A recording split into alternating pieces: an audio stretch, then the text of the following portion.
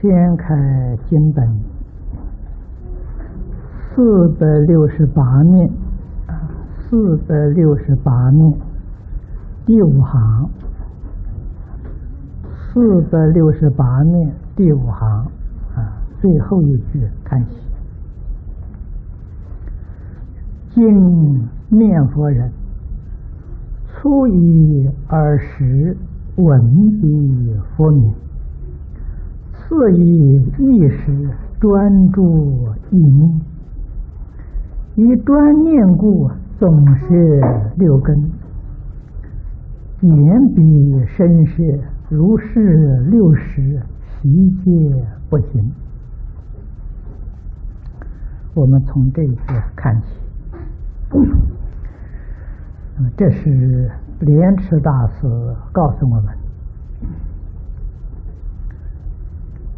信念一心持名，它的效果确确实实将释迦牟尼佛四十九年了所说的一切法门呢，都能够融摄在其中。前面呢，我们说过禅宗就是宗门，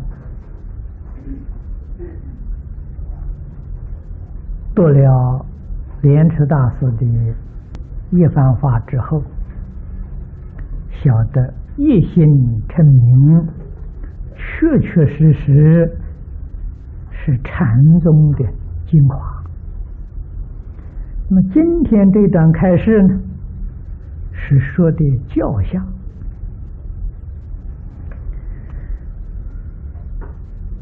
也离不开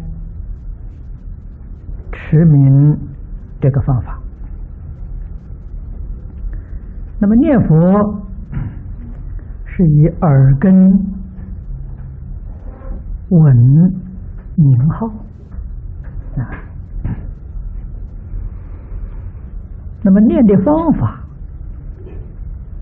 古来的大德常常啊提示我们：首先要放下万缘啊，也就是说，把一切妄想、分别、执着通通放下。这个佛号从心里面生出来啊，要从心生出来。从口里面呢念出来，然后才从耳朵里听进去，用这个方法。这个方法呢，能摄心。此地所说的就是这个方法啊。所以二是文笔佛名啊，我们自己念，自己听啊。然后啊，这是以意识专注意念。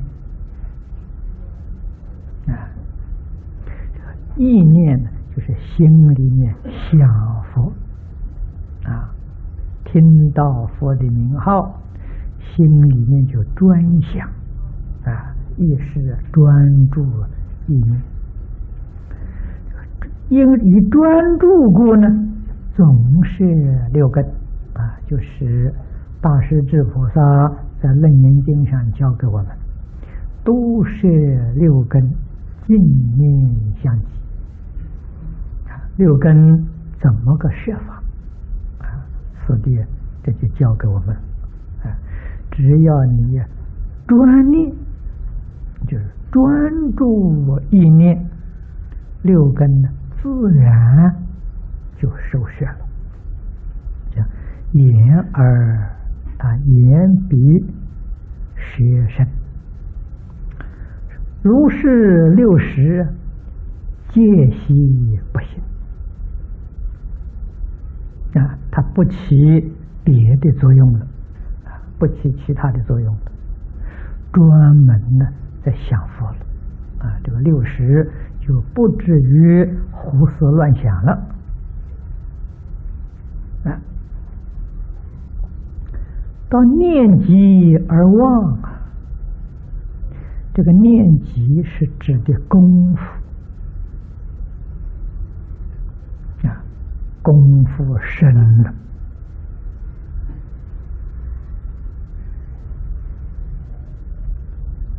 一般所谓的“的念而无念”呢，无念而念，这是讲的能所双忘啊，把能念的自己所念的佛号都忘了。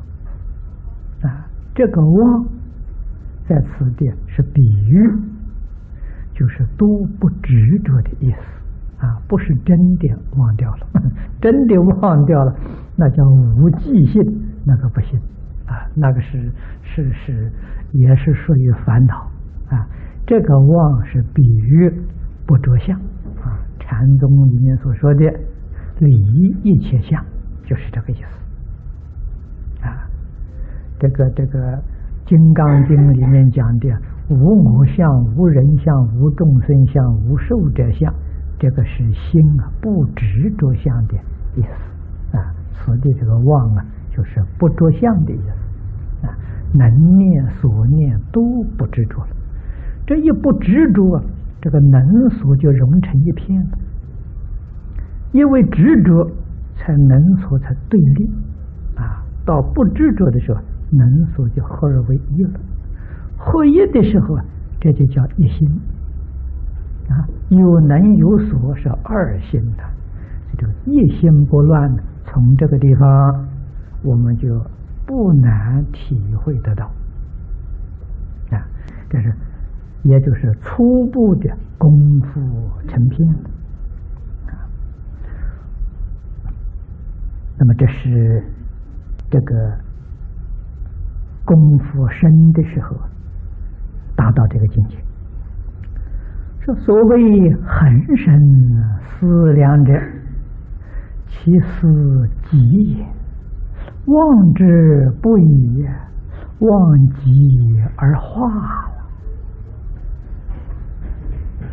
所谓真望合合者，其望消也，在七十八十一界不行。那么这个境界。就是属于理业心的境界啊。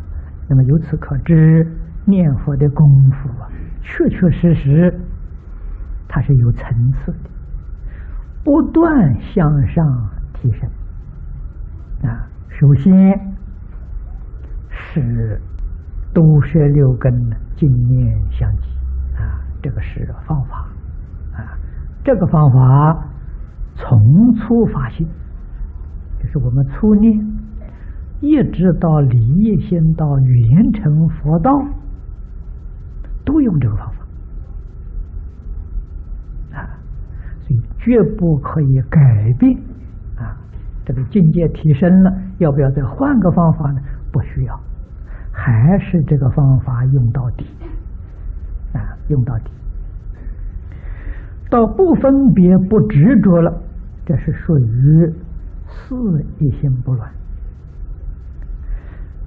到忘极而化了真忘合合的时候，这个就属于理一心不乱，也就是禅宗里面所说明心见性啊，到见性的这个境界了。那么是期望消也。这个妄是妄想啊，妄想分别执着到这个时候都没有了啊。那么其实八识啊，一界不行，不行就不起作用的啊。七识的作用是执着啊，是执着；八识的作用是分别啊，这个这个呃六识的作用啊是分别。那么换一句话说，分别心、执着心啊都没有了，啊都不起作用，啊这是到这个境界了。逐渐逐迹不成呢，从得言复，其五十亿有何论也？这八心王不起作用，心王所复数的心所，这五十一个心所，当然就更不起作用啊！这当尔之时，这当然就在这个时候，巨浪微波。贤臣之水，巨浪是指前期时与相应的心所起作用，啊，就像大浪一样。这个微波啊，就是阿赖耶识与它相应的无变形心所起作用，这个很微细啊，比喻作微波。功夫到这个时候，这个大浪微波都止都停止了啊。那么由此可知，这个心底真正到了清净啊，清净心现前，清净心就是真心，就是自己的真如本性啊。那么这现前呢？就是禅家所谓的啊本来面目，这个时候啊你见到了本来面目了啊，本来面目就是自信，本来面目也叫法界啊，本来面目也叫佛性啊，见到了，一般就叫成佛了。啊见到就成佛了，所以说见性成佛。那么这个佛，并不是究竟圆满的佛啊，距离究竟圆满还有相当的距离啊。那么为什么叫他做成佛呢？因为这个时候，你所用的心呢，跟佛所用的心。完全相同啊！我们凡夫声闻缘觉这个全教菩萨，我们用的心呢，跟佛不相同啊。这个不同在哪里呢？这些人所用的心呢，叫意识心，就是八十，所用的是八十五十一心所，用的是这个心。佛所用的心呢，是真心，是本性啊，这是完全不相同。用实心啊，你用真心是觉。念佛人念到这个时候，见性，见到真心啊，这就是。原教里面所讲的初住菩萨以上的境界。啊，初住菩萨破一品无名，见一分真心。啊，就是这个境界。啊，就是巨浪微波，闲尘之水，龙云波雾，静坐成空。这一句跟前面比喻是一个意思。啊。浓云跟巨浪一个意思，波物啊跟微波是一个意思。啊，所以都是讲的这个八十五十一心所不起作用的，唯是一心呢，更无语法。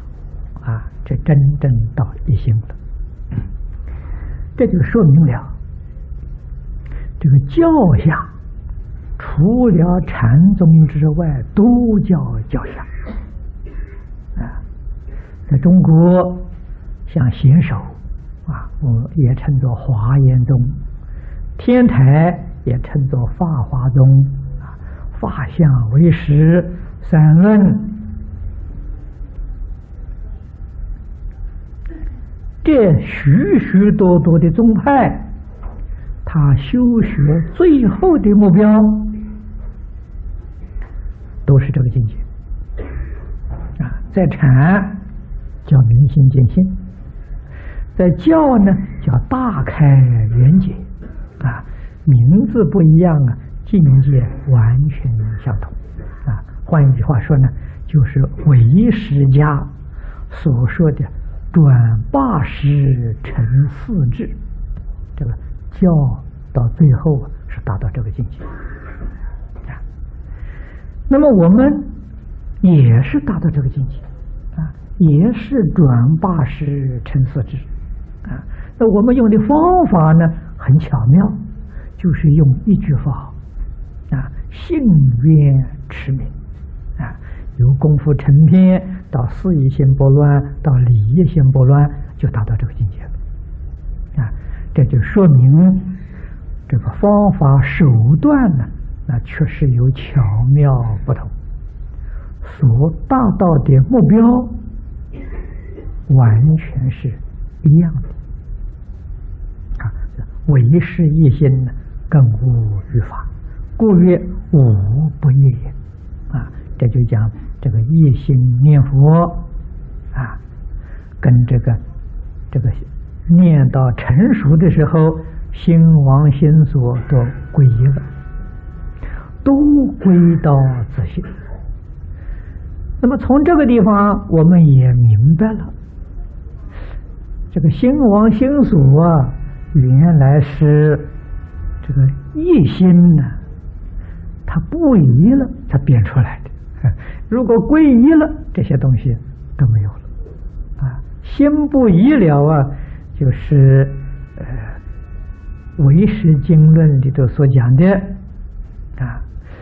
无名不觉生三世，啊，境界为缘长六处，啊，叫做八十五十一心所是这么变现出来的，啊，《楞严经》上。讲的真如不守自性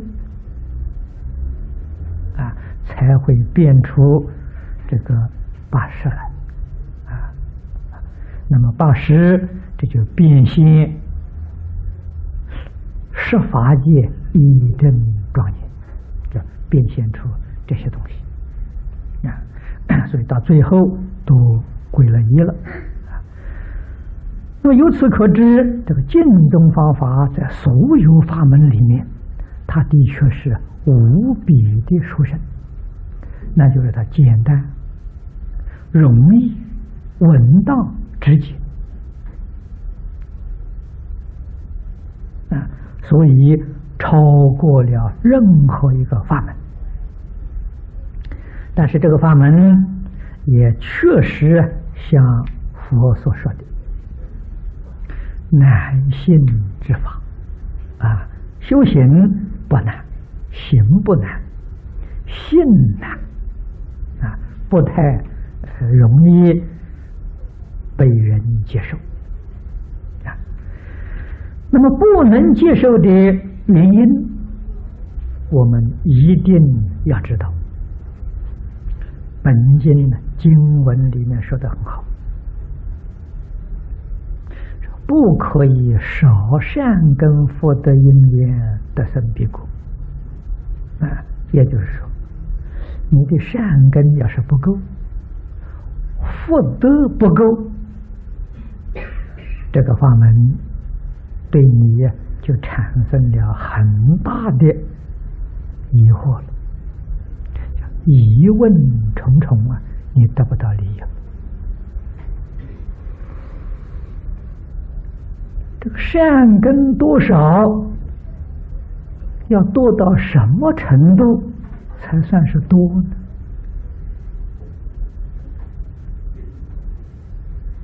无量寿经上有一个标准，值得我们做参考。啊，无量寿经，同学们都念得很熟了。经上佛告诉我们：说阿舍王子与五百长者子啊，这个我不必细说了，诸位都很清楚。这些人善根相当深厚啊！佛说了，他们在过去生中曾经供养过四百亿佛。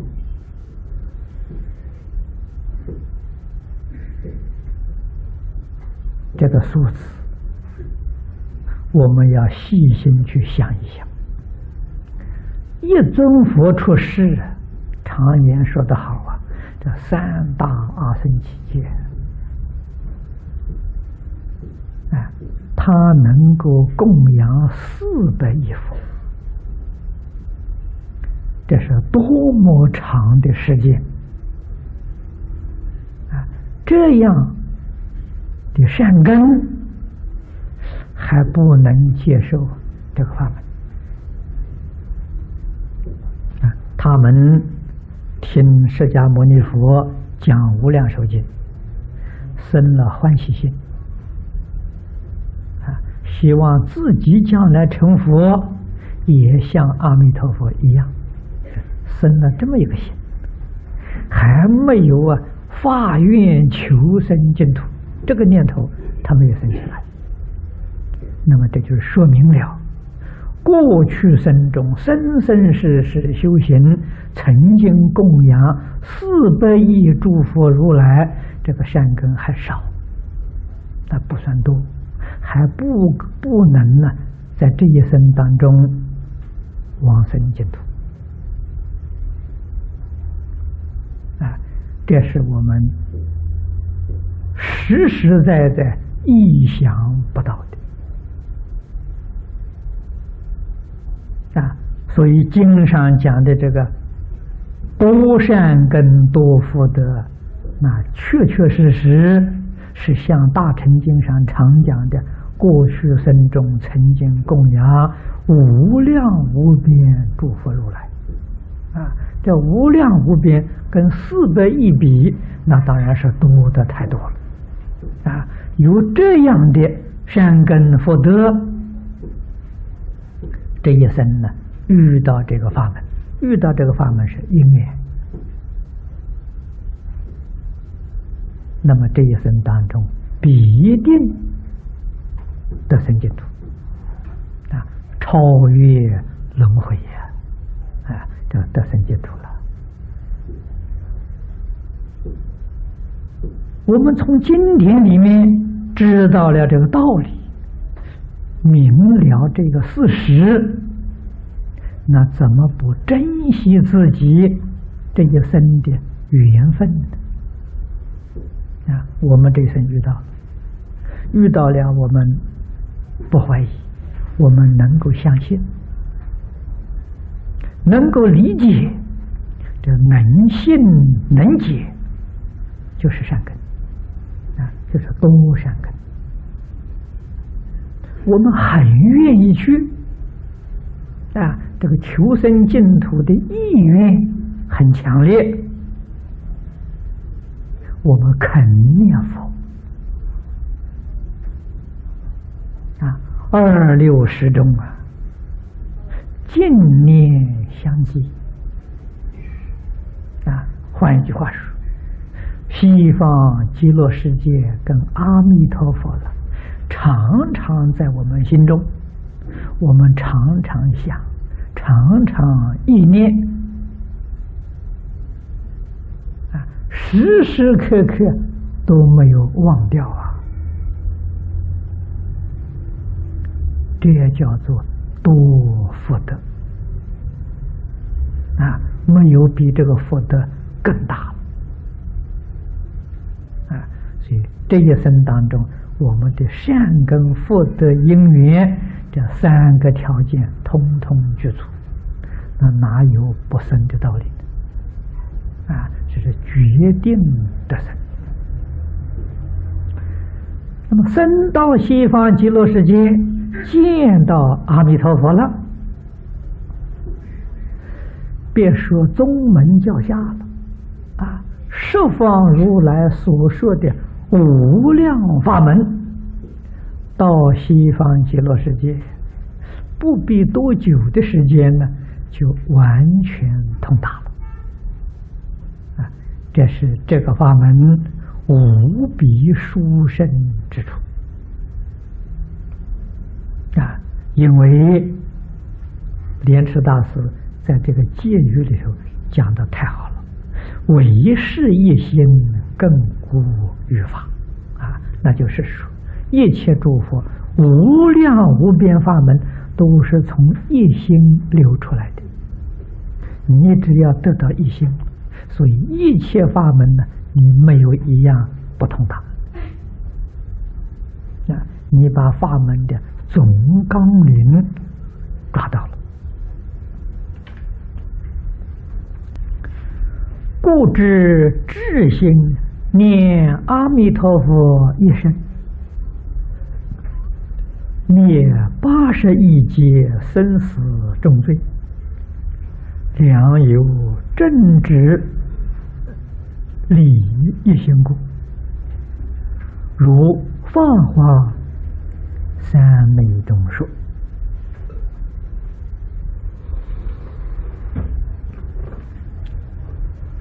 这些这个经论里面所说的。我们都要明了，然后这个疑虑才能够断除啊！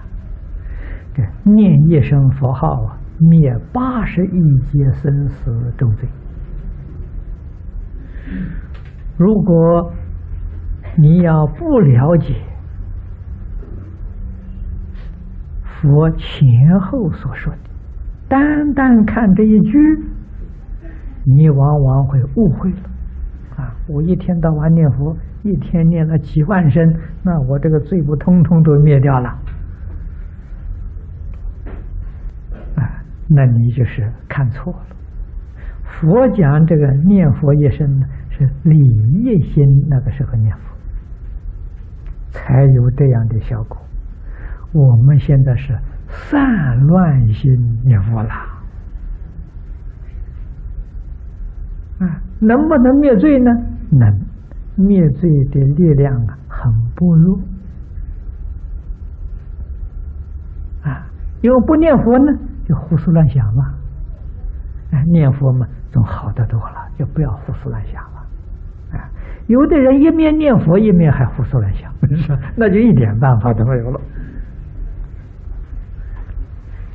可见我们这个灭罪是非常非常的微薄啊！这个要知道，这是功力不够深，不是说佛说的话不灵啊，是我们的功夫不到家。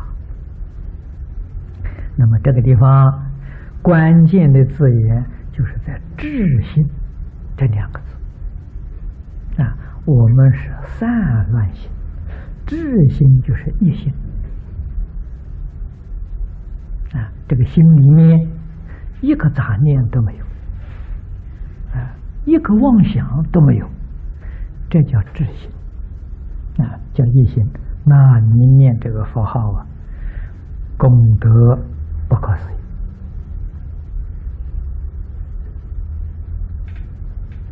所以念佛贵在。净念啊！大师智菩萨给我们讲，净念相继。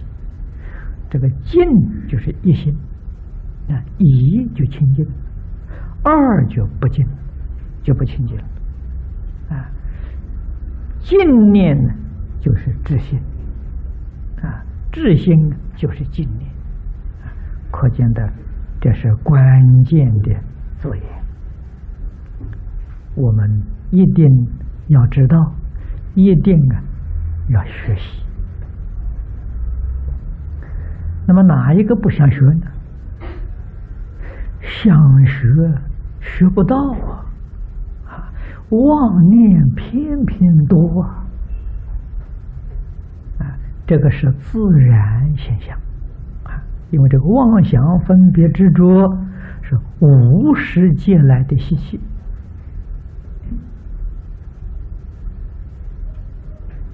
连晚上睡觉都打妄想，睡觉做梦就是妄想啊！啊，没有妄想就不做梦了啊！所以睡觉的时候打妄想就做梦啊，就变成梦中的境界啊！可见的这个妄念呢，确确实实是二十四小时起伏不定，没有能力来控制它。佛法教人修定，定就是控制妄想的。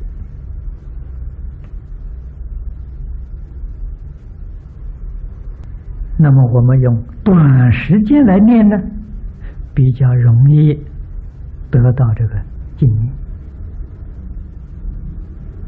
啊，时间长了就难了。所以古人讲，念经呢。不如念咒，念咒不如念佛，啊，经常要很长的时间去念，那那么长的时间当中一定打妄想。那咒呢，比经短呢，啊，时间短，几分钟里面，这个不打妄想也是能够控制得住，佛号就更短了啊！南无阿弥陀佛这六个字当中，一个字一个字相续，这里头一个妄想都没有啊！确实是是比这个念咒念经效果更要殊胜啊！但是要叫这个这个这个佛号相续不断呢？那就难了啊！这个佛号当中也会夹杂妄想啊。有一些人啊来找我，他说：“法师，我不念佛的时候，好像没有妄想，心很清净；越念佛的时候，妄想越多。”啊，其实这个问题。不是他是第一个人。我们在印光大师文钞，在祖师语录里面都看到，都看到同样的问题。啊，祖师们的解释也说得很清楚、很明白。这不是平时没妄想，平时有妄想，你没有去觉察，你没有去留意啊。到一念佛的时候呢，哎。忽然发现到这么多妄想存在，绝对不是念佛念出来的啊，没有这个道理啊，是妄想本来就是这么多，本来就存在，没发现啊，念佛了发现了啊，或者是呃静坐的时候发现了啊，当你真正想用功的时候啊，发现了原来有这么多的妄想，这么多的杂念。啊，这才发现。这发现之后，你不要害怕。啊，我们今天念佛、参禅、用功，主要啊就是要对付这些妄念。啊，妄念起来，古大德教给我们，就不要理会就好了。他其他的。啊，我念我的佛，我们把精神、意志注意在佛号上。啊，这个妄念起来呢，不关心，不理他，这样时间久了，佛号就得力了。所以佛号得力了，就妄念少了。啊，大概一般真正用功的人。真用功的，念个五年、十年，大概在一支香里面呢，可能还有两三个妄念，那功夫就相当不错了。这一支香，我们这个长香一支香啊，是一个半小时，啊，就是一个半小时念佛当中啊，还会有两三个妄念。啊，要是一个妄念都没有了，那这个念佛功夫总在十年以上啊，真正有功了啊。如果说我们念佛已经念了十几二十年了，一支香里头还有几十个妄想、几百个妄想，那么话你就晓得我们的念佛从来没有认真用过功夫，这不认真的啊，没有认真干过。要认真的，那不可不可能有这么多妄念存在啊。这这个是要晓得啊。念佛如果不能把妄想扶住，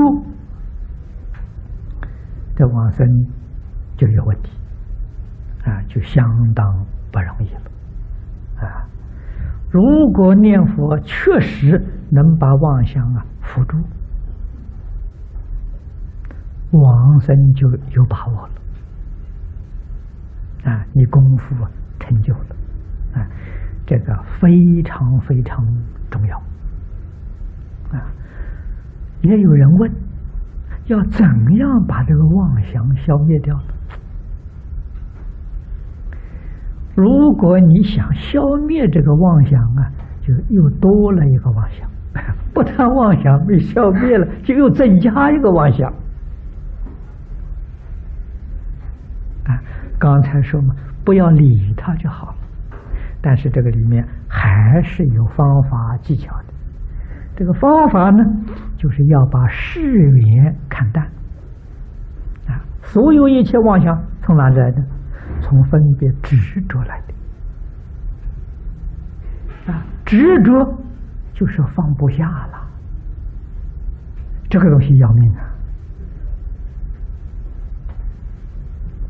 我这次在高雄讲经。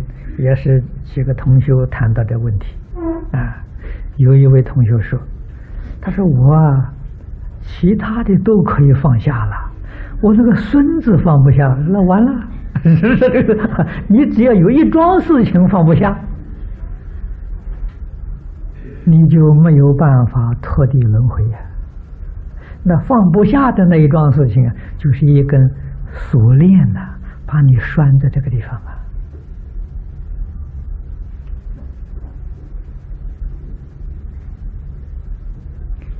佛在《金刚经》上说的好啊：“凡所有相，皆是虚妄；一切有为法，如梦幻泡影啊。”你要看破，看破之后，你自然就能放下，你这个念呢，才能够达到静念。啊，有一桩事情放不下。你那个念就不是静念啊，不是静念。那么换句话说，你在这个法门里面，就这一生当中又种一次善根啊，没有成熟啊，不能往上，啊，就跟过去无量劫来一样，生生世世种善根。真的放下了，彻底放下了，你的善根成熟了，那你这一生决定得生。一般人不明了啊。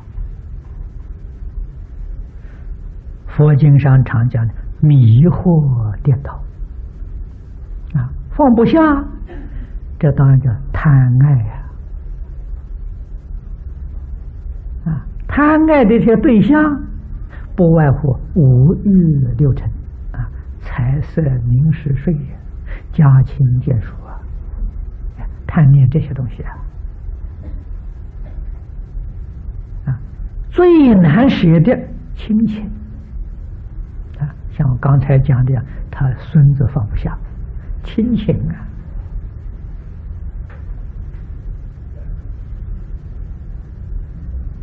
真正要想爱护家亲眷属，那你就决定求生净土，到西方世界成佛成菩萨。你的家亲眷属无论在哪一道，你都有能力去照顾他。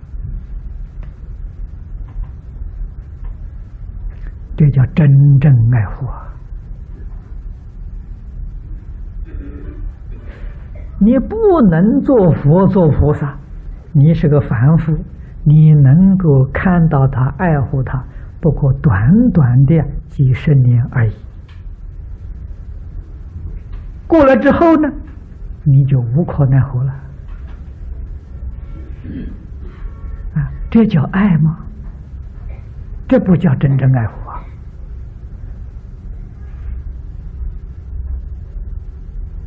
经论上跟我们讲的很多啊。我们生到西方极乐世界之后，就有能力很快的回到这个世界。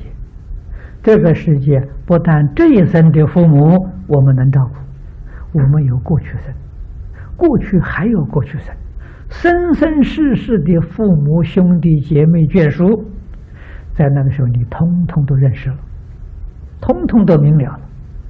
你有能力帮助任何一个人啊，这个叫真正的爱护啊！啊，永远不舍弃啊，这个不是一时啊。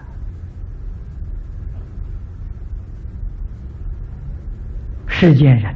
实在说，眼光太浅，只看到眼前，没有看到将来。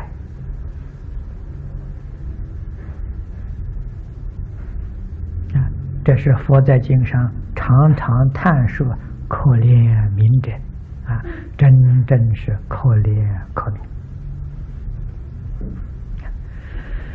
那么，这就是真正能看破。自然就能够放下，啊，看破放下了，心就清净了。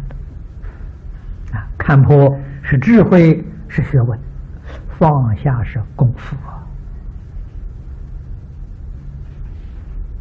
以这个基础，信愿持名，那就是万修万人去，个个都成就了。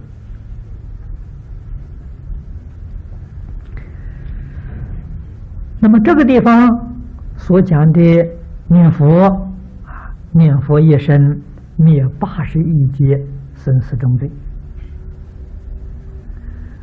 莲池大师在抄里面把这个意思再详细为我们说明，说人有疑也啊，疑惑。最忌多劫，我们过去生中是无量劫了，无量劫所造的这个罪业太多太多了。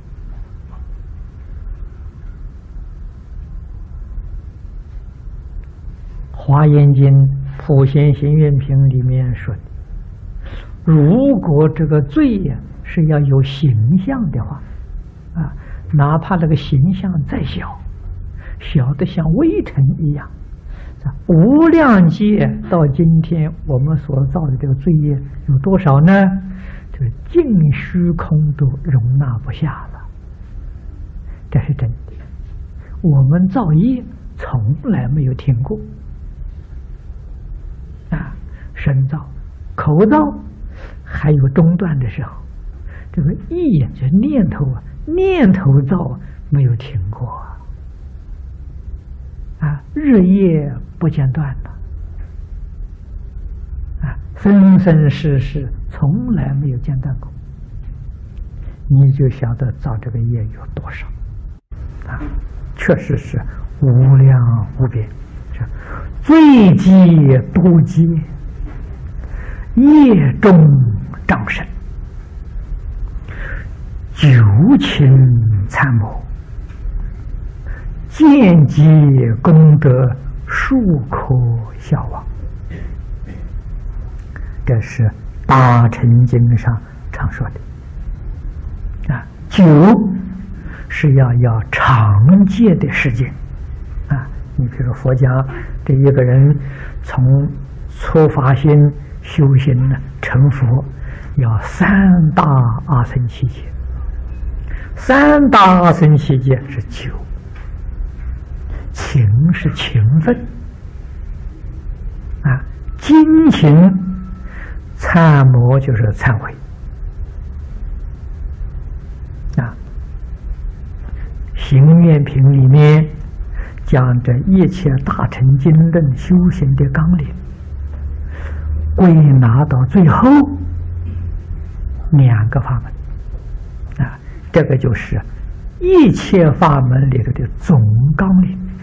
这两个法门呢，第一个是忏悔，第二个是回向。啊，把无量无边的法门归纳到最后成这两门。那么你晓得这个两门是修行的重点。啊，修行的枢纽，九情参谋啊，也就是说，经过三大阿僧祇劫，不断的修忏悔法，这才渐渐累积功德，把这个无量劫界的罪业消掉了。要这么长的时间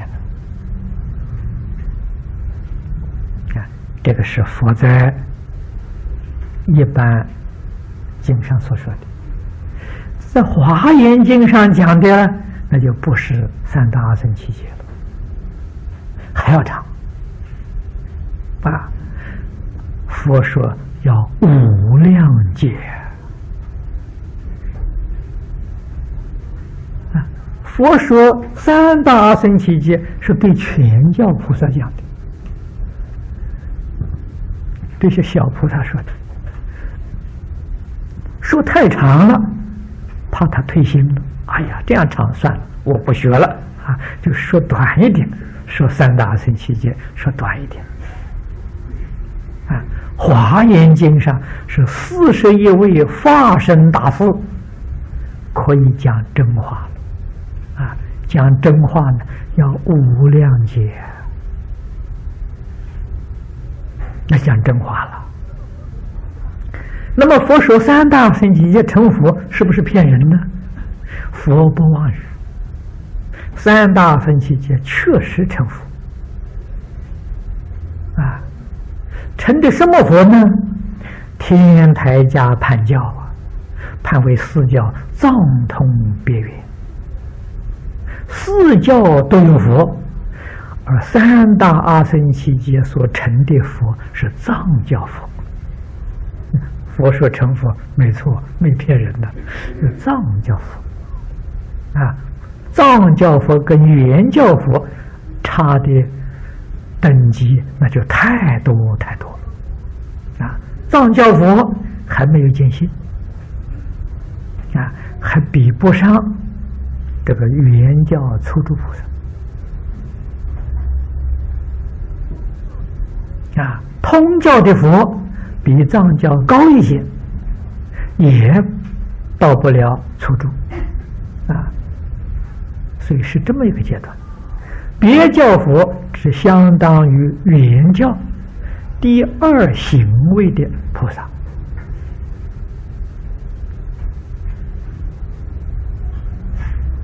那么，距离原教的佛呢，差不多还有三十个位次。啊，还有三十个位次。啊，所以佛并没有说假话。啊。佛讲成佛，你要懂得他说的成什么佛啊，要知道这个意思。所以是九情参谋啊。才能把这个业障消除。而念佛一生灭多劫罪，这人家怀疑在这个地方，难信在这个地方啊，因为果具啊，故所不信呐啊！念佛一生，这个因似乎太容易了。太小了，太少了，他能灭那么多罪，灭八十亿劫生死重罪，这个好像果太殊胜，这个因跟果啊不成比例呀，所以这是很不容易叫人相信，很难叫人接受。这底下讲，今为至心者，即一心也。啊，所以这不是普通成念了，是一心成念。啊，一心里面呢有四一心，有理一心。啊，四业心还没有这么大的效果。啊，是若四业心虽能灭罪，为利少数，罪将复现，多多之念呢，只可灭少少之业。啊，何况我们现在连四业心都没有啊！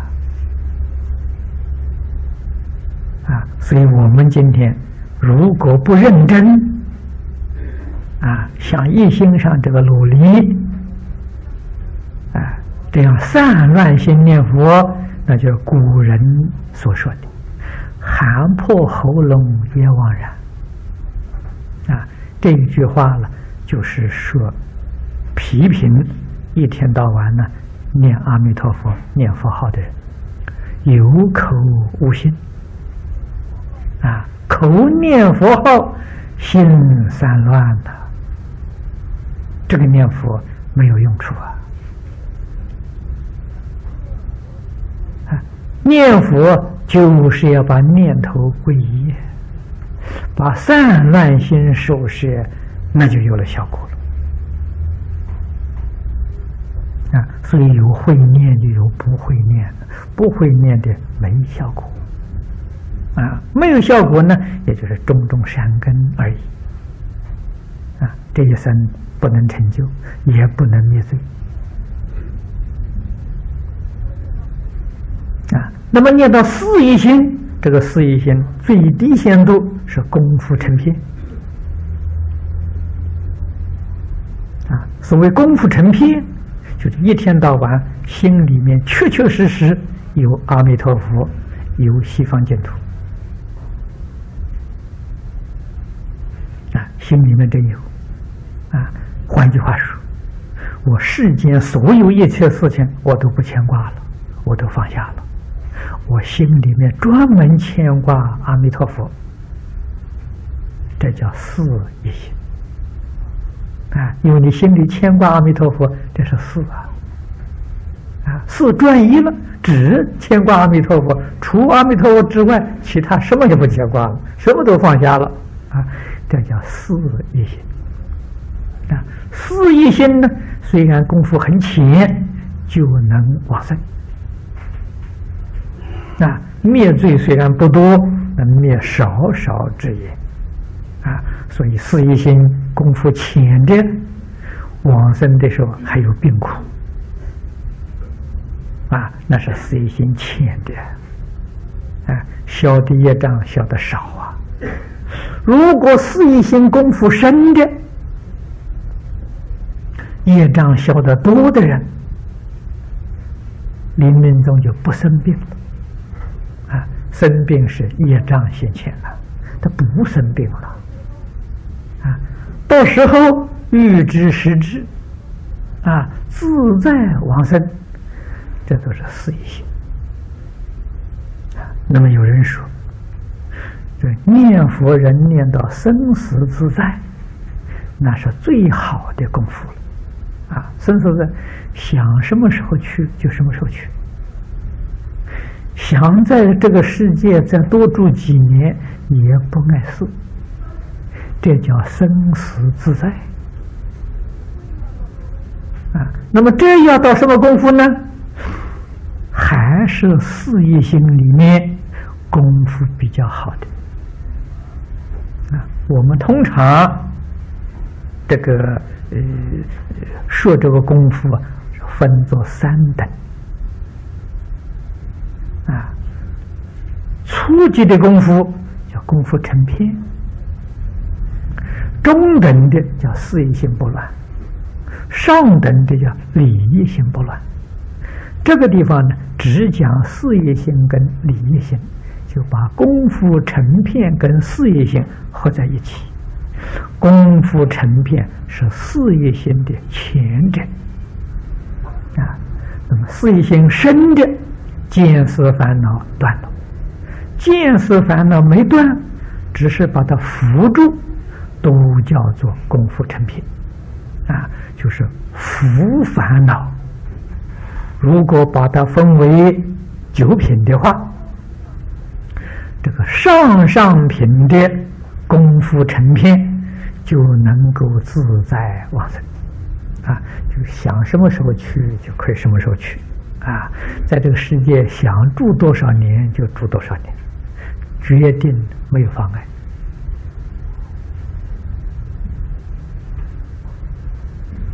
啊。那么我们要问。我们这些人能不能做到呢？个个人都能做到，就怕你不肯干了。哎，你肯干，没有一个做不到的。如果讲这个上等的那个事业心，那的确不是我们每一个人呢都有能力做得到的。因为呢，见思烦恼要断尽，那很不容易。啊，那理业心就更难了，啊，那由此可知，这个念一声阿弥陀佛，灭八十亿劫生死重罪，我们只可以听听，没份的，这是理业心啊，我们做不到啊，啊，到什么时候做到呢？往生西方极乐世界以后就做到了。啊，你看，升到西方极乐世界，我们在这个呃《回向记》里头常常也觉得祝愿的，花开见佛悟无生，那个时候就是离心不乱。啊，在西方世界，花没有开是事业心不乱，花开了是理心不乱，所以花开见佛是见报身佛。《啊赞佛记》里面所讲的“百好婉转无虚名，甘木成心似大海”，那是阿弥陀佛的报身。啊，花开见佛是见报身，花没有开呢也见佛，是见阿弥陀佛的化身。啊，不是见报身，啊，见化身。所以在莲花里面，佛菩萨也给你说法。啊。也有海会大众围绕，那个完全是是化身啊，完全是化身，不是报身。啊，那么说到这个地方，诸位要细心去体会经中的殊胜处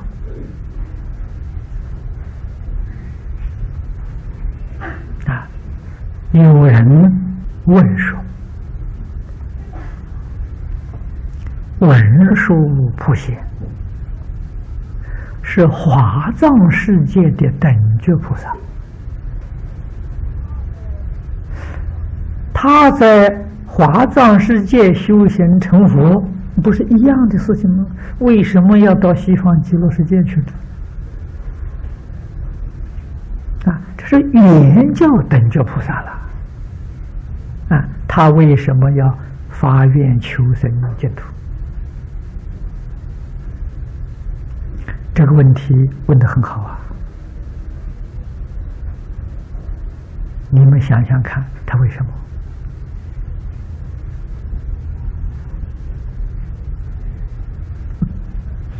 诸位听了我刚才讲的一番话。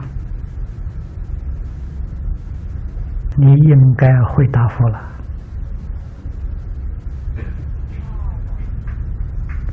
他方世界要灭罪呀，要九情参谋啊。等觉菩萨还有一品身相无名，很难断呐，要很长的时间呐。啊，粗的烦恼容易断，细的烦恼难断。啊，你说佛讲这个三大圣七劫，我们就看出来了。第一个二圣七劫菩萨可以证得三十个位次啊，是住、是行、是回向。第一个阿僧祇劫完成三十个位次，第二个阿僧祇劫呢，只能证到七个位次，从初地到七地，七个位次，你就晓得越往上越难。第三个阿僧祇劫呢，证三个位次。啊，八地、九地、十地，所以三大阿僧祇劫实际上是十地啊满了，成了等觉菩萨。这三大阿僧祇劫，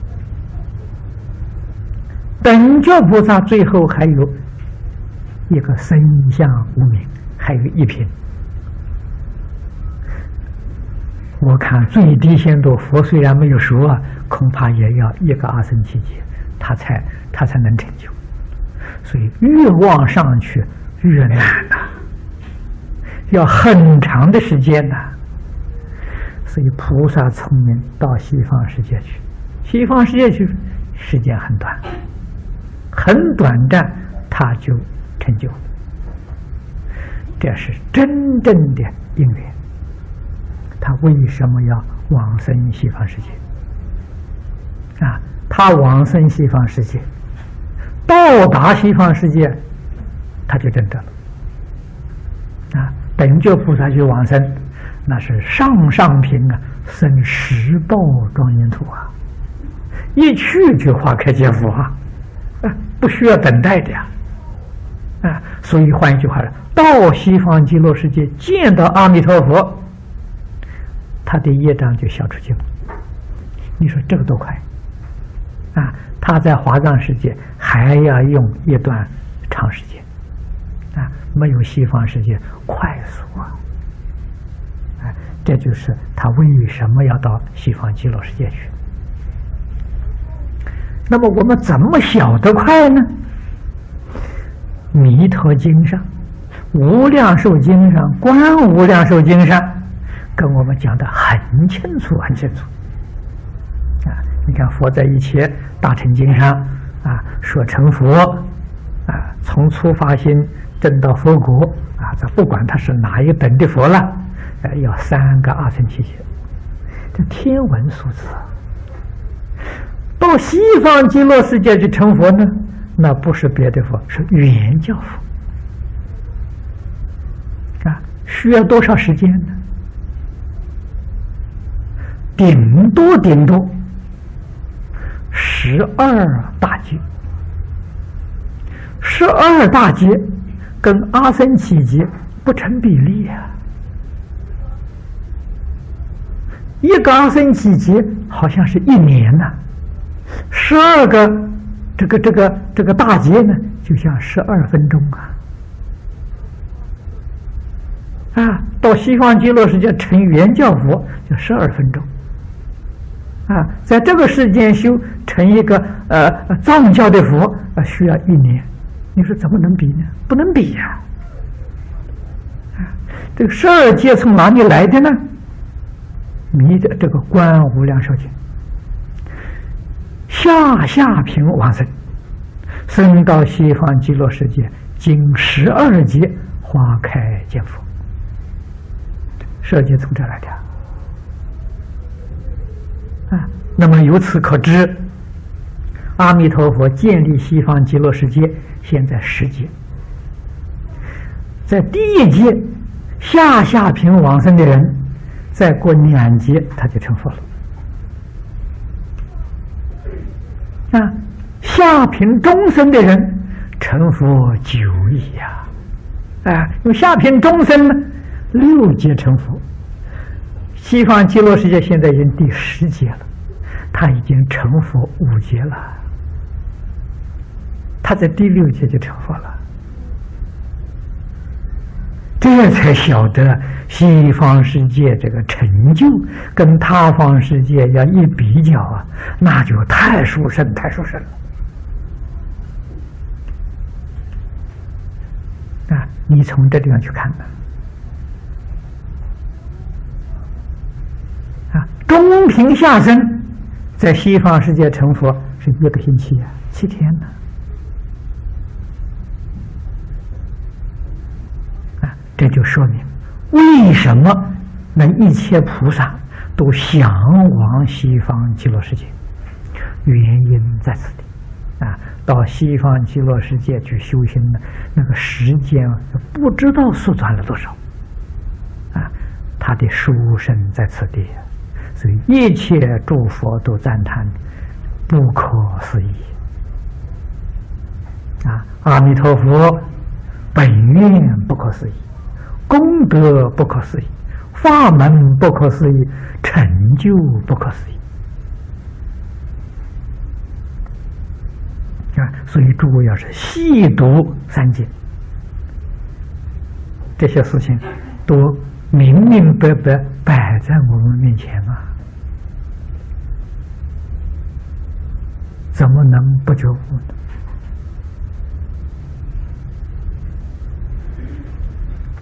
啊，我们再看底下这一段：“此之至心，正属理。”啊，这书里面讲的至心念阿弥陀佛一生，这个至心啊，是讲的理心。不是四一心，一心即狼即望顿空！离一心是明心见性啊，至少是破一片无明，见一分真心啊，这个才是离心不乱啊！所以就是《华严经》上。四十一位化身大师啊，他们的境界，以我们净土中来说呢，就是属于礼义心不乱啊。礼义心不乱，也有前生次第不同啊。前的原教初住，深的等觉菩萨啊。所以，我们从菩萨的位次来上呢。礼义心呢，里面又有四十一个阶级，啊，所以前生次第有四十一个阶级，啊，都是叫做理业心，啊，业心即朗，朗是明朗，啊，里面的见思烦恼、尘沙烦恼、无明也破一片了，啊，心性呢透出来了。啊，跟佛的用心没有两样的！佛在经上常常用月亮做比喻，这个比喻很好啊。佛的心呢，像树满月啊，圆圆的满月；初住菩萨那个心呢，就像初三、初四的月牙啊，光明透出来了啊。满月的月光与那个月牙的月光是相同的，通通是真正的月光，不是假的。不过一个大一个小而已，啊，都是真的。这就讲初住菩萨用心是用真心，啊，所以用真心呢不圆满，没有像佛那么圆满，那么自在。但是他已经是用真心了，跟全教菩萨不一样。全教菩萨以下的是用妄心，啊，就是八十五十一心所是妄心，啊，不是真心，啊，他用的是真心，啊，跟佛相同。即妄顿空啊，即是累积呀，无量劫来累积的妄想烦恼，到这个时候通通消掉，通通没有了。欲如千年暗时，啊。这是个比喻，为什么呢？无量劫累积的这些罪业会一下消失掉？哎，这就比如像千年暗时，千年比喻无量劫，比喻时间长；暗时啊，黑暗呢，比喻的烦恼啊，妄想啊，我习气，比如这些，是其以一灯，暗不宿灭。啊，千年暗时，你在那里点一盏灯，那个黑暗就没有了。就破除了。这个意思就是说明，你真正觉悟了，所有一切这习气罪障啊，通通都消除了。为什么呢？因为它是虚妄的，它不是真实的。真实就不能消灭了，它是虚妄的，所以一觉悟呢就没有了。不觉，它通通存在；觉悟就没有了。啊，见性这才算是觉悟，没有见性的那个不算是觉悟。啊，那个那个没有悟啊，所以没悟不行啊，没悟就要搞六道轮回，啊，就有六道，就有十法界。悟了之后啊，不但六道也没有了，十法界也没有了。所以觉悟的人，理业心不乱的人，他住哪里？《华严经》上讲啊。他住的叫一真法界，啊，不在这个十法界之中，啊，所以十法界里面那个佛是藏教佛，啊，是通教佛，啊，别教的佛就不在十法界了，啊，他到一真法界去了，啊，不不属于十法界，所 以只有藏通佛是十法界里面的佛，啊。故一称南无佛，皆以成佛道。恶读妙法莲华有之啊！这个妙法莲华经里面讲，一称南无佛，皆以成佛道。你要晓得，那一称南无佛是智心成念啊，属于礼业心，才能成得了佛啊。那不是礼业心啊，你。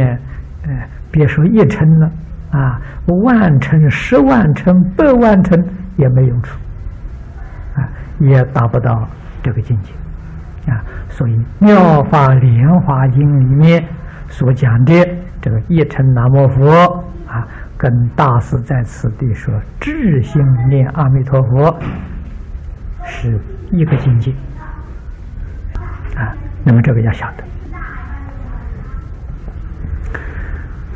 而底下抄里头有解释这个《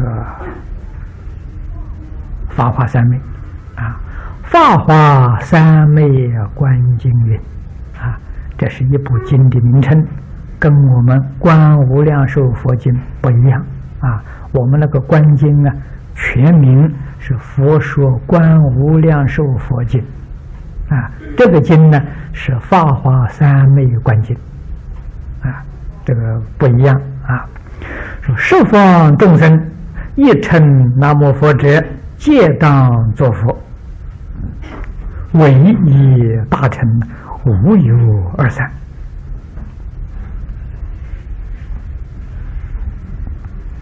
这一段里面呢，说明念佛的功德是唯一大乘。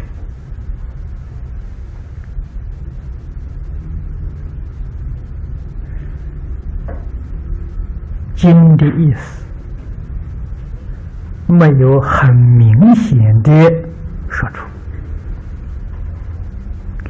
指的是十方众生啊，十方众生当然包括我们自己在内。一称，它那个关键就是在一，所以这个决定不能够疏忽。啊，这个一不是数字，啊，不是说念一声。南无佛，不是的，是一心成念，这个一是一心的意思，啊，而且是一心达到极处，啊，那就是理一心啊，我们这个经上讲的理一心，啊，换一句话说。用的是真诚心啊，是真诚心，真诚到极处，就是我们这里讲的理心。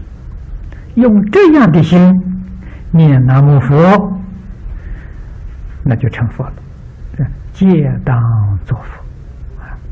这也为我们证明了观经三福啊最后一条所说的发菩提心、身心因果啊，这个因果跟普通的因果不相同。念佛是因，成佛是果。你看，一称南无佛是因，借当作佛是果。啊，所以这个法门是唯一大乘。啊，法华跟华严，古大德都判作一乘教，还在大乘之上。啊。这个佛法呢，把它分作这个等级，有小乘，有大乘，有一乘。这个一乘呢，是讲成佛的这个法门；大乘是讲成菩萨的；小乘呢，是讲成就声闻缘觉的。我们通常讲阿罗汉辟支佛，啊，成就这个果位的，这是小乘法。啊成就菩萨果位的是大乘法，教你直接成佛的，那么这个叫一乘法啊。所以华严跟法华都是属于原教一乘，这个地方唯一大乘，无有二三，这个二呢就是二乘。啊，大乘、小乘就是二乘，三乘呢就是声闻乘、缘觉乘、菩萨乘，叫三乘。啊，所以这个法门不是三乘法，不是二乘法，啊，是唯独的一乘法。这个唯一大乘呢，就是讲的一乘法。一切诸法，一向一门啊。这个底下有五句，都是呃《法华三昧观经》的经文啊。这个是第二句。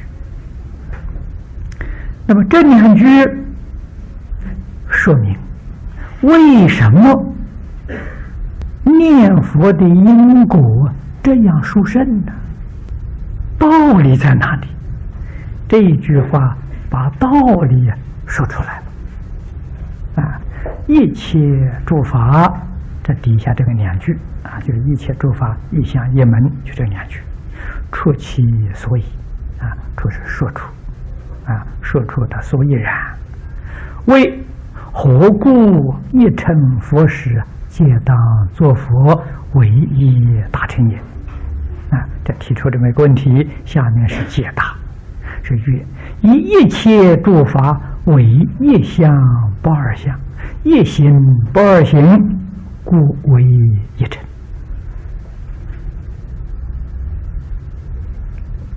这个解释的非常好，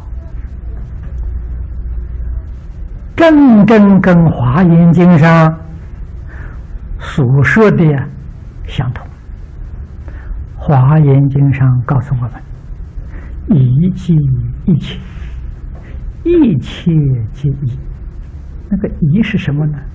就是一心。一切呢，是一切法门，一切万法。一切万法是从一心变现的，一切法门也是从一心里头流出来的。所以宗门常讲万法归一，就是一心。啊，禅宗里面修行，从根本修，啊，根本是什么？根本就是一心。啊，我们净宗也是直接从一心来修的。啊，我们修的念这句阿弥陀佛，目的啊，果。就是一心不乱呐，所以直接修一心，一心统摄一切法门，一心包容一切法门，一心涵盖了一切法门啊，所以你只要得一心呢，就通通都得到了。那么这是这个是。原理，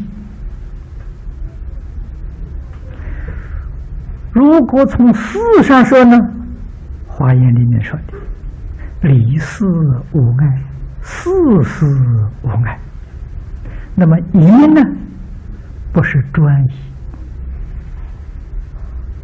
而是任意，任何一都同摄一切法门。啊，为什么呢？因为任意啊，都是一心里流出来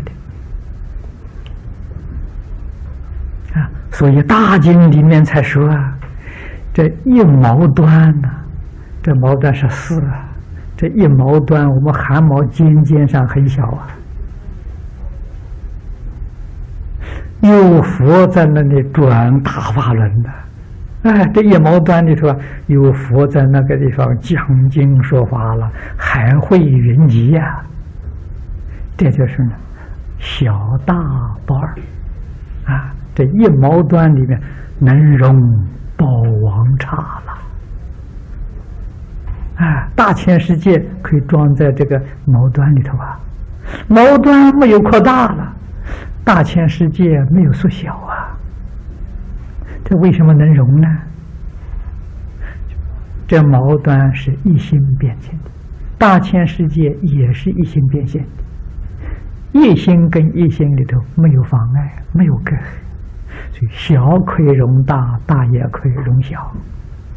我们这个小大不能相容，是因为你有妄想分别之处啊，本来相容的变成不能相容。你要把一切妄想、分别、执着都打消，这个境界就现前了。啊，这是佛法里面讲的不思议解脱境界。现在的科学家也晓得这桩事情，但是他不能证实，不能证明，就是从理论上。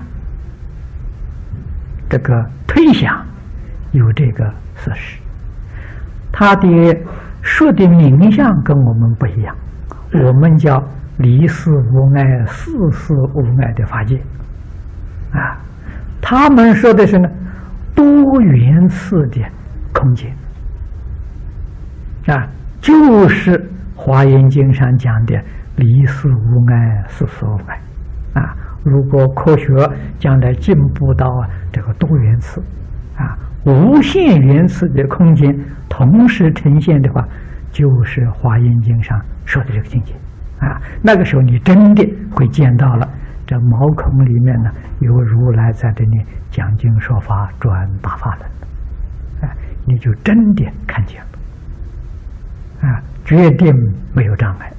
啊，十法界一真庄严，通通在面前，没有过去，也没有未来。啊，所以时间跟空间呢，都是抽象的概念，不是真正的事实。啊，所以说科学有这个理论，但是不晓得怎么实现。我们佛法里有方法，能够叫你实现。就是叫你修一心不乱，啊，到离一心呢，这个境界完全现前，这就是宇宙人生的真相。好，我们今天就讲到这里。